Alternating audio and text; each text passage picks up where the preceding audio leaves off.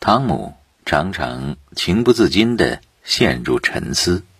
他想，自己虽然是一个奴隶，但生活的还可以，比埃及的约瑟夫安要强得多。其实，他的东家已经越来越看重汤姆，因此那个比较就更能成立了。圣克莱尔这个人大大咧咧，不拘小节。过去，他让阿道尔夫负责全家的物品采购，而阿道尔夫也是马虎的人，同他的东家一样。他们俩一起浪费家里的资财，这么多年来，汤姆总是把勤俭节约当做自己的本分。于是，当他注意到东家是如此挥霍家业，他就忍不住提醒东家注意。开始，圣克莱尔对他不以为然，后来他发现汤姆很认真，能够精打细算，所以他逐渐让汤姆参与管理，并进而把全家的物品采购事务。都交由汤姆负责。别这样，阿道尔夫。当有一天阿道尔夫对让位于汤姆而感到生气时，圣克莱尔却这样说服他：“就让汤姆单独负责这件事吧。咱们俩都是粗心大意的人，而汤姆却懂得勤俭持家。假如不让他来负责，早晚有一天咱们会把家产都挥霍完的。”圣克莱尔。越来越信任汤姆，把一切都交由汤姆打理，自己并不检查。汤姆其实大可欺骗他，但由于他本质正直诚实，是个虔诚的基督信徒，所以他对东家是忠贞不二的。像他那样的人，把东家的信任当作是一个信条，他认为这样认真尽职是理所应当的。过去的阿道尔夫可比不上汤姆，他从不精打细算，结果把自己和东家的财产混到一起。对此，圣克莱尔也无可奈何。他也知道这样对仆人不加管束是不对的，但他也无能为力，以致他任由仆人这么做。他认为，如果自己是认真的，下人们也不会太出格，所以很能容忍下人们的过失。汤姆对圣克莱尔既尊敬又关心。圣克莱尔不信基督教，如果遇到什么问题，也总是一笑了之。每周日晚上，他总是去广歌剧院，或者去俱乐部赴宴，不停的应酬。汤姆同大家一样，都看到了东家的行为，他们都把这怪罪于东家不信奉基督教。虽然他从不跟别人谈论这些，但他常常在回到自己的小房间后，虔诚地为东家做祈祷。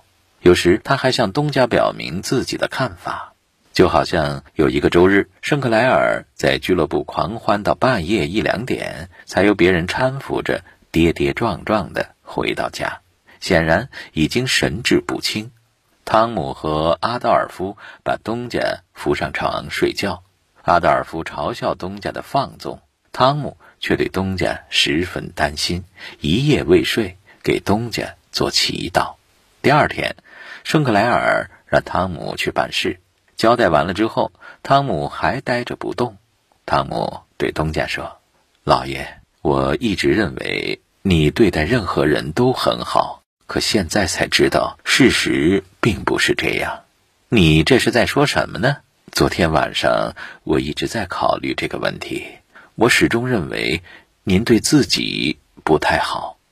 汤姆一说完，圣克莱尔就感到脸红，但他仍边笑边问道：“呃，你是说这件小事儿啊？这是件大事。”汤姆跪到老爷身旁说道：“您再这样下去，会伤及身体和心灵的，酒会害死你的。”老爷，汤姆哭起来。汤姆，别这样，我不值得你这样关心。圣克莱尔边说边哽咽起来。可是汤姆仍然跪在那里求主人。好吧，我答应你，汤姆，我今后不再去应酬了。其实我并不喜欢参加，早就该这样了。好了，别哭了，去做事吧，汤姆。我。并不值得你那样祝福。说着，他把汤姆拉到门口。汤姆，我不会再那样了。汤姆这才安心的去了。我一定会履行我对他的保证。圣克莱尔边关门边对自己说：“从此以后，他果然没有再放纵自己。其实那些东西本来他就不喜欢。现在来关注一下阿弗利亚小姐，看看她在管理家事的时候遇到了哪些问题。在南方，许多女管家很有管理才能，她们成功的制服了庄园里的黑奴，让他们按自己的意愿行事。”希尔比太太就是这样的人，Mary 圣克莱尔对此可不在行。像他母亲一样，他并不严谨，因此手下的仆人也跟他差不多。以前他曾向阿弗利亚小姐抱怨家里的状况是如此糟糕，可却不知道真正原因在哪里。阿弗利亚小姐自从来到圣克莱尔庄园之后，总是自己亲手打扫卧室，这使女仆们十分吃惊。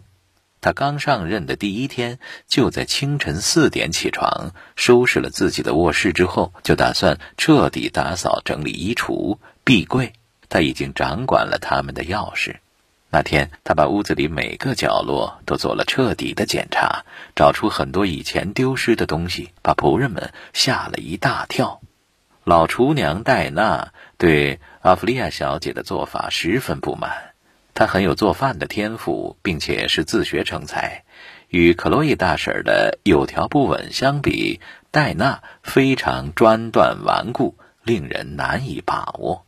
戴娜凡事都靠直觉，只相信他自己的看法，根本听不进别人的意见。这都是被 Mary 的母亲宠坏的，而 Mary 也懒得干涉他，一切听之任之。戴娜坚持厨师是不会犯错的。而他的饭菜总是做得不错，虽然他做事时非常混乱，没有条理，但他的饭菜还是令人满意的。眼下大家都在做饭，戴娜却很悠闲，啊，他总是这样，很不专注，时不时的想点别的事情。现在他正在抽烟袋，他有很大的烟瘾，这也是他获取灵感的一种方法。一群小黑奴围坐在戴娜身边。在南方，他们的数量越来越多。他们正在干一些杂活。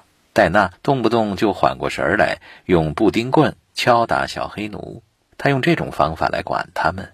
他认为这些小黑奴出生之后的唯一用途是让自己少走点路。以前别人是这样管他的，现在他也这样管别人。奥弗利亚小姐对家里其他方面打理了一番之后，开始准备。整顿厨房了，戴娜已经获知这一点，她心里厌恶改革，但表面却不敢表现出来。厨房的地面被一个大壁炉占了好大地方，很不方便。圣克莱尔让戴娜换新的，但他却因固执己见不换新的。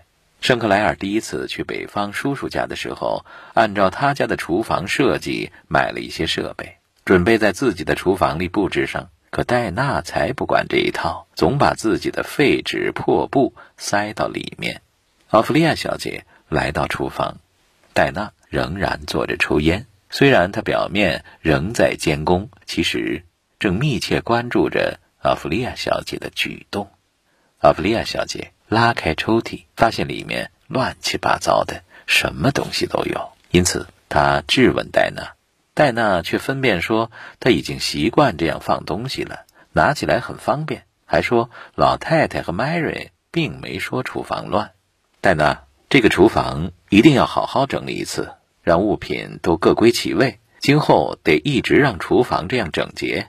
说完，他就一样一样的亲自整理起来，动作十分麻利，这使下人们十分吃惊。其实，在以前，戴娜。有时也会好好打扫一下厨房，那时他会把所有的东西都摊在地上，这使厨房更加乱七八糟。但他仍不着急，不上火，先让小黑奴擦吸气，然后再慢慢归拢。清扫完后，他让大家都穿上干净的衣服，说是要保持劳动成果。没用几天功夫，在奥弗利亚小姐的努力下，整个家焕然一新。但是下人们并不注意保持，令他的劳动白费了。一天，他极度失望丧气，朝圣克莱尔抱怨：“你这个家也太没规矩了。”啊，你说的太对了，我从来没见过这么乱七八糟的家。嗯，我也这么想。你当家的话，就忍受不了吧？堂姐，跟你直说吧，圣人有两种，或者压迫下人，或受下人压迫。咱们这些人啊，都太善良，太能忍让，所以啊，会觉得很难受。只怪咱们命不好啊，下人们都这么懒惰、蠢笨。有的主人就很会管理下人，似乎不用什么铁腕政策就把下人弄得服服帖帖，家里的一切都有条不紊。可我没这个本事啊，所以只有任他们随意去做，也图个省心。可这个家也太没规矩，太无法无天了。哎，你呀也太急功近利了，像我们这些混日子、消磨时光的人才不担心呢。你说这里乱七八糟，可对我来说这不算什么呀。我除了在沙发上歇着看书之外，整天也没别的事儿可做，所以开饭时间或早或晚对我来说是无所谓的。还好戴娜的厨艺上佳，各种饭菜都不错。她竟然能在那么乱的厨房里做出这样可口的东西，我还真为她感到骄傲。幸亏是她，否则。由我们自己做饭，一见到那种条件，非得呕吐不可。我说堂姐啊，你就不要再这样斤斤计较了，你这样费劲儿，太辛苦了，而且自己生气受累不说，戴娜她也不习惯。我看你还是让她自己看着办吧。但是厨房里乱得不成样子了，奥古斯丁。啊，这些我都清楚，谁不知道戴娜把厨房弄得一团糟啊？所有的东西都乱堆乱放，但是他做的饭菜很令人满意，你应该看到他的优点呀。但是这样下去，非把家里花光了不可。那么钥匙都归你支配，你把带锁的东西都锁好，能限制的就限制住，其他的零星小事儿，哎，就由他们去吧。但我还是感觉不踏实，奥古斯丁。我认为乡下人为人并不可靠，你觉得呢？圣克莱尔认为堂姐过于严肃认真，有些小题大做，于是大声笑起来。堂姐，你对他们要求太高了吧？还希望他们诚实？哦，他们确实不诚实，但问题是，他们为什么要诚实啊？怎么才能使他们可靠呢？教育他们呀！哦，教育。你说的轻松，你指望由我和 Mary 来教育他们吗？Mary 会整死所有的奴隶。你要让他们不撒谎，这绝对办不到。所有的人都不诚实吗？呃，当然不是。有几个人还是比较诚实可信的，因为他们天性如此，没有被恶劣的环境所影响。但是那些黑奴从小到大都生活在恶劣的环境中，自然不会诚实。他们已经养成撒谎的习惯了，要让他们变得诚实，这几乎不可能。所以，他们撒谎骗人的时候，也不能不分青红皂白就惩罚他们。黑奴几乎还是半个孩子，无法理解诚实的概念。他们拿到主人的东西就据为己有，并不问那是不是属于自己的。我觉得，想让他们诚实是不可能的。有几个黑奴能像汤姆这样好啊？今后他们的灵魂归宿是什么呢？阿弗利亚小姐问道。“哦，这与我无关，我只负责他们今生的事。其实黑人早已明白，现在他们受白人的压制，在人世间已经半人半鬼，谁知道死后会是什么样呢？真恐怖。”阿弗利亚小姐说道。“你们不觉得难为情吗？我无所谓，这样的人太多了，一般的人都这样做。”其实世界上到处都是如此，下等人用自己的悲惨生活换来上等人的幸福，英国不就是这样吗？但其他的基督徒只对我们大家指责，那是由于我们的做法稍有不同罢了。在福蒙特就没有这种事情，呃，我也觉得新英格兰和各自由州比，我们的情况好。哎，堂姐，咱们啊别谈这些了，还是去吃饭吧。你听，铃都响了。傍晚，奥弗利亚小姐来到厨房，忽然有几个黑孩子大叫：“哦，上帝，是普吕，他来了！他还是那么古怪，总是唉声叹气。”此时，走进厨房的是一个高瘦的黑人妇女。头顶一篮面包，你来了，普吕。戴娜说道。普吕一放下篮子，就坐在地上抱怨道：“哦，上帝，你让我死了吧？你怎么能想到死呢？”阿弗利亚小姐十分不理解。死后就一了百了了。普吕爱理不理地说道：“你呀，一天到晚就知道喝酒，活该。”一个干净的第二代混血女佣边说边整理着珊瑚耳环。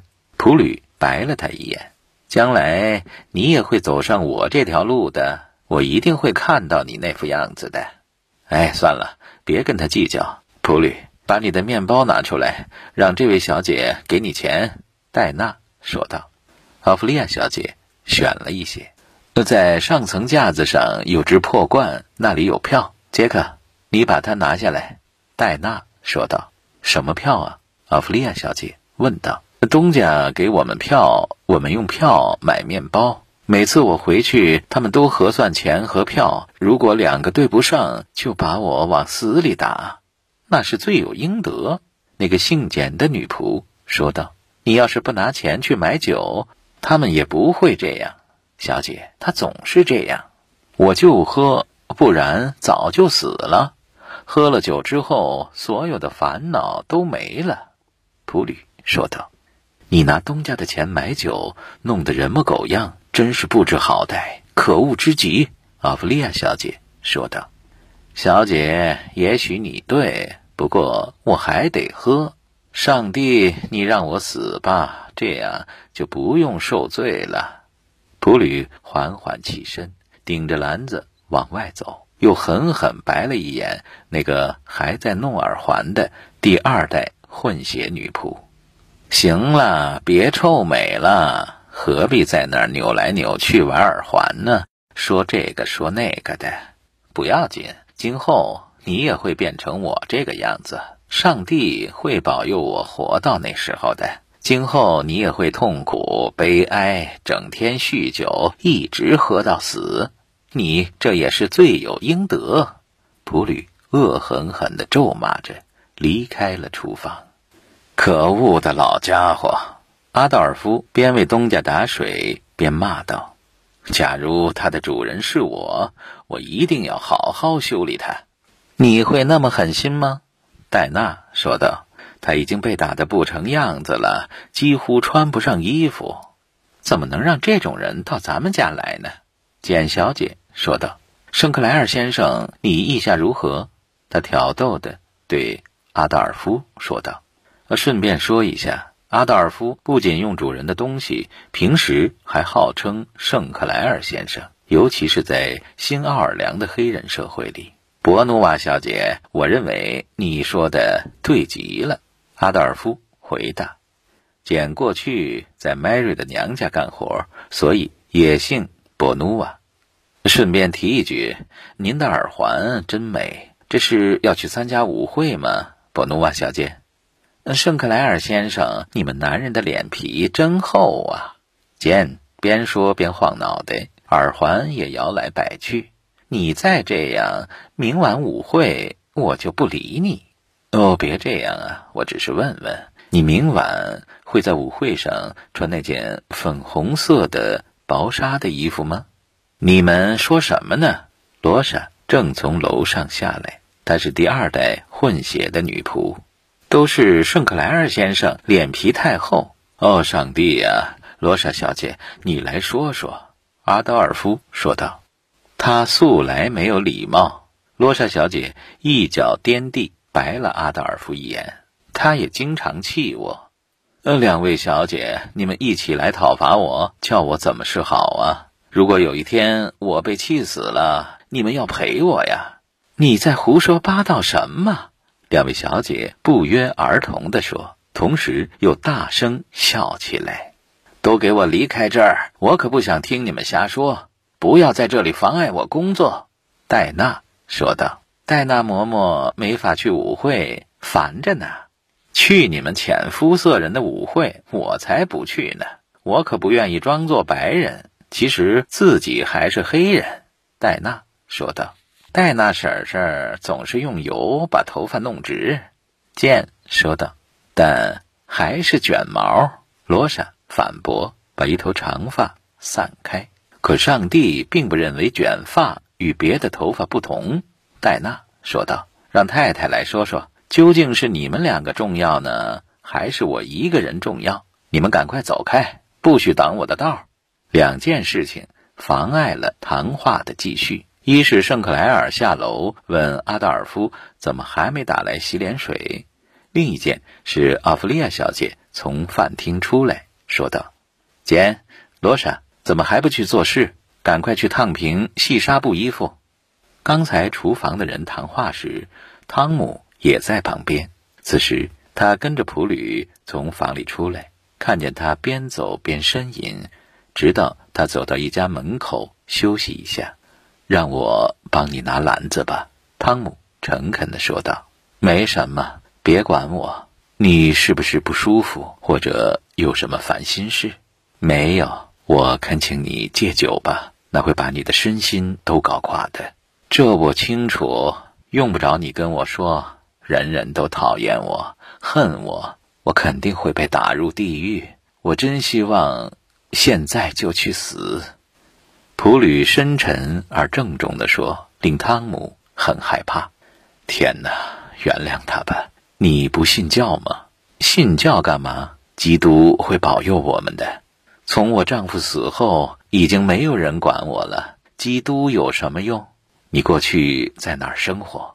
肯塔基，一个白人养我，专门让我生孩子去卖，然后他又把我卖了，就这样。那你怎么会总喝酒呢？逃避现实啊！到这里后，我又生了一个孩子，我还以为我终于有自己的孩子了，不必卖他了。刚开始，小孩子十分可爱，招人喜欢，太太也很喜欢他。但自从太太得病之后，我就照顾他，然后我也得病了，没奶喂孩子，太太又不给我牛奶喂孩子，于是那孩子渐渐瘦下去，而且整天哭个不停。太太很烦，叫我把孩子放在阁楼上，结果孩子就在阁楼上哭死了。从那时起，我就喝酒，一喝醉就不想孩子了。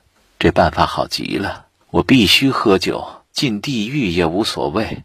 东家说我今后非下地狱不可。我告诉他，自己已经在地狱里了。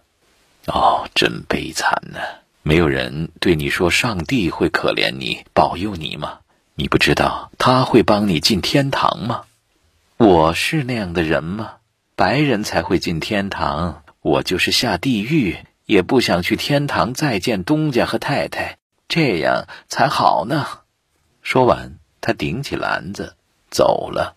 汤姆不高兴地往回走，回到院子里，发现小伊娃正带着花环，高兴地等他。汤姆，你总算回来了。你把马套好，咱们坐那辆新的小马车出去逛逛吧。他挽住汤姆，问道：“嗯，你怎么了？好像有心事。”“没事，小姐。”现在我就去备马，汤姆沉重地说道。但你得说说发生了什么事。刚才你跟普吕那个老太太讲话了吧？于是汤姆把普吕的事说给伊娃听，但她并不十分震惊，也没有大声哭喊，她只是脸色变白，双手捂住胸口，叹了叹气，眼睛里掠过一丝阴云。